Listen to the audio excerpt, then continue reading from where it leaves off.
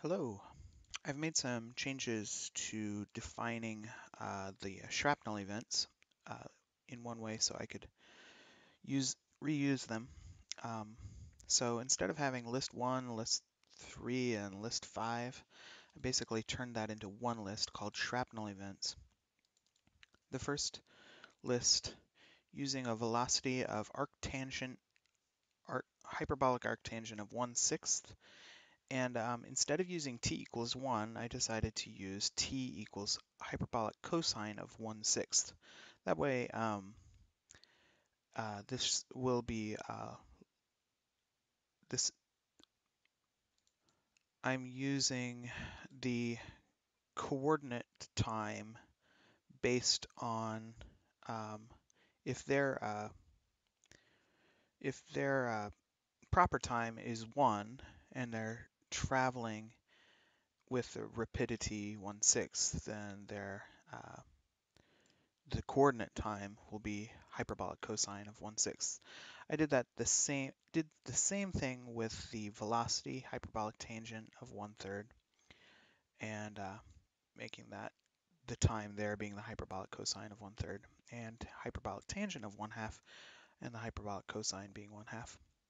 Now I thought this would be a good idea making um, the number of points in the model 25, 50, and 75 um, basically making the uh, the number of particles in that radius uh, proportional to the rapidity of that radius. I thought that would be a reasonable assumption. I'm not 100% sure if it comes out quite that way with an with a, an equi, equipartition of rapidity, but it seems to go along with an analogy that if you have particles distributed with an equipartition in um, angle, then the number of particles that you would distribute around a circle would be proportional to that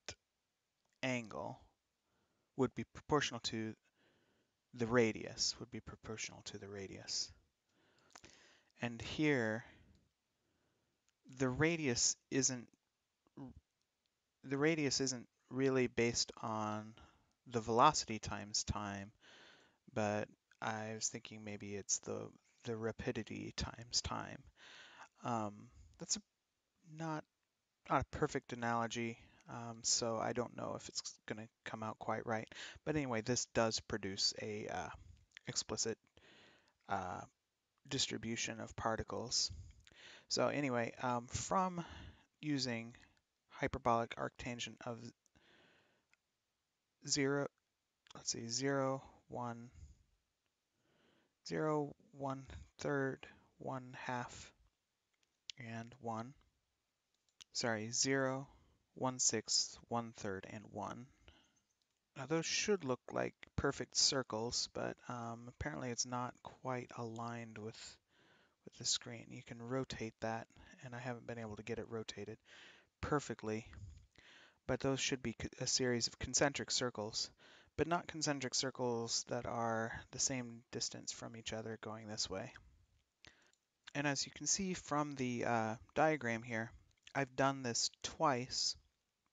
Once uh, I did it once, did a Lorentz transformation on them, on the points, and then came back and did it again. And you can see what that looks like in the big diagram right here.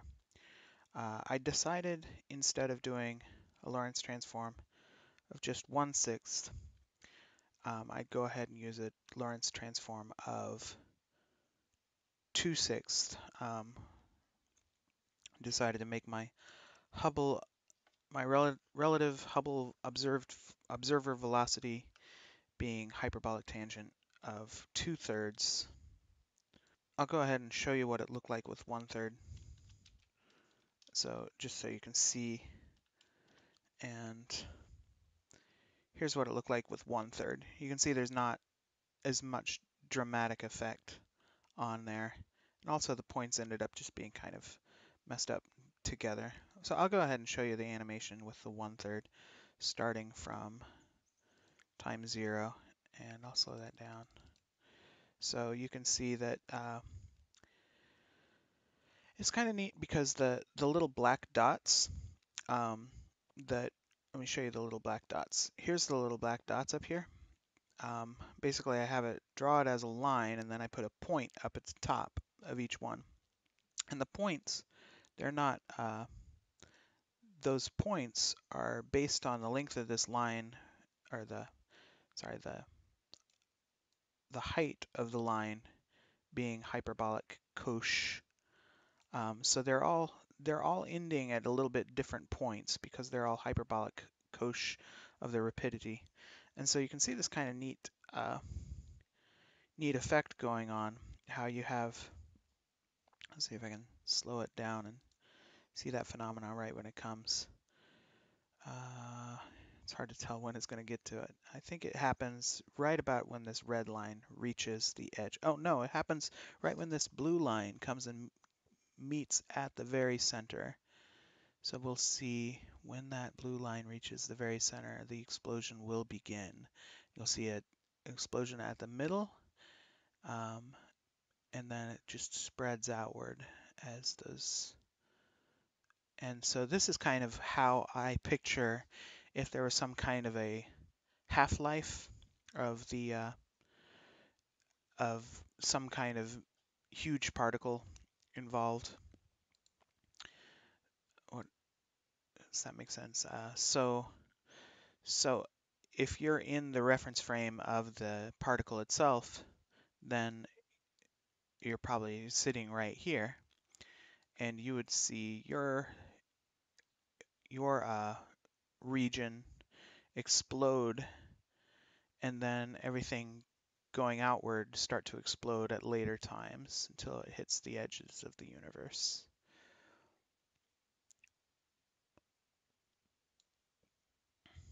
Now to simulate that in this, I would probably want to put another particle explosion um, on on one or more of those black points, uh, one of the one or more of those large black points, so we could see another distribution coming out from there. Um, but we'd also have to do a Lorentz transformation on that matrix, unless we put it right at the center, which wouldn't be an interesting question. But if we put it somewhere other than the center, um, we would need to first uh, take the shrapnel events. I guess we could apply the Lorentz transformation to the shrapnel events first, so that, which is convenient because the LT matrix is centered on the origin of this of this description, and then uh, move the origin by add, adding uh, y, adding x and t values, adding x, no, adding x and t values to put it at that point right there. You could also, I guess, add y values to it if you wanted to have off-center explosions. But for now, I just kind of wanted to make sure that I had this part set up right and uh, change the rel hub observed velocity to two, two thirds. So we have that. And then do I have a blue line in this description? Um, it looks like my blue, yeah, for some reason my blue line is way down there. And, and I have this thick blue line central observation. So where did I put my central observation? Okay, I actually did want that blue line to be at the center of the screen. Uh, my confusion right now is related to the fact that, oh, yeah, the reason that I'm confused right now is because earlier I had one of the, I had the line at 1 sixth, and then the next, I had the, uh, the explosion here overlapping that. Of course, if I have two thirds, I'm going to need a fourth, I'm going to need a rapidity of four thirds to actually have that occupied.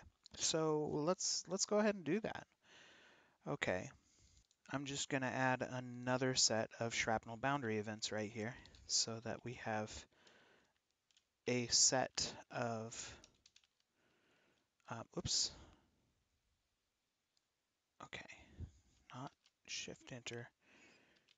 Okay, there we go. Set that up. We'll have uh, one one half, then we'll have uh, four sixths, right? One sixth, two sixths, three sixths, four sixths.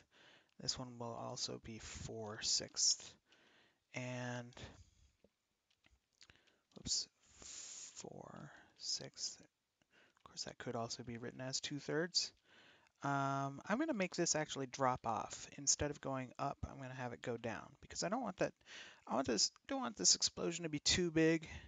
I want it to kind of be a finite explosion. So it is eventually we're going to have um, the shrapnel be start going down as it goes outward away from the central explosion so that it so that it has a distinct center. Okay, now there's our diagram and here here it is and you can see you can see what those look like um, and let's go ahead and slow that down a little bit.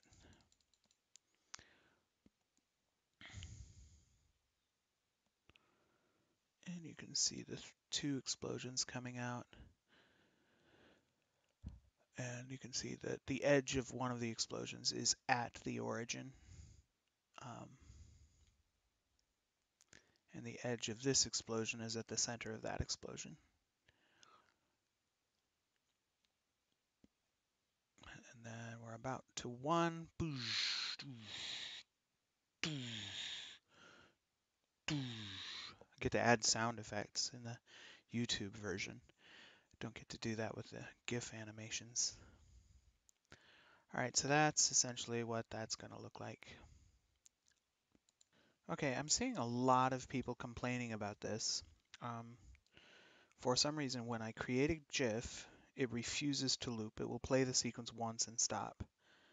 And uh, this person is saying, uh, my GIF logo won't loop forever.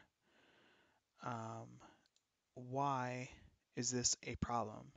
Because if I am specifically opening the browser just to open a GIF, such as this one. Let's see. Where'd that go? Here it is. I will hit enter so it refreshes. It's playing once, twice, and then it stops. Why would it stop? I mean, that's that's seriously all I'm opening. I'm opening in that window is that GIF. If I am opening a GIF to look at that GIF, I want that, I want it to continue playing. I don't want it to just stop after two plays through. And so this guy is saying, my, I know my GIF loops forever locally, but when I uploaded it to Squarespace, it works, but it won't loop. Then somebody says, well, something was up because I saved a new GIF from Photoshop and re-uploaded it, and it's looping now. And then somebody else says, unfortunately, that's not a real solution. I'm creating a multi page with multiple GIFs and making them myself in Photoshop. And anyway, the solution for me was to make sure that every time I exported for web from Photoshop, the loop forever option is selected in the looping options, not once. Anyway, um, that is not I don't think that's the problem here because I'm using Mathematica and there's nothing in there. There's nothing in this export command that tells it to stop after two loops, I'm pretty sure. Yeah, I don't even know if that they're uh, actually meaning to uh, let their users know that GIFs images will animate on here because the examples they give where it does export as a GIF, they just have it showing one thing. Anyway, um, that's just going to have to do for now. Uh, thank you for watching.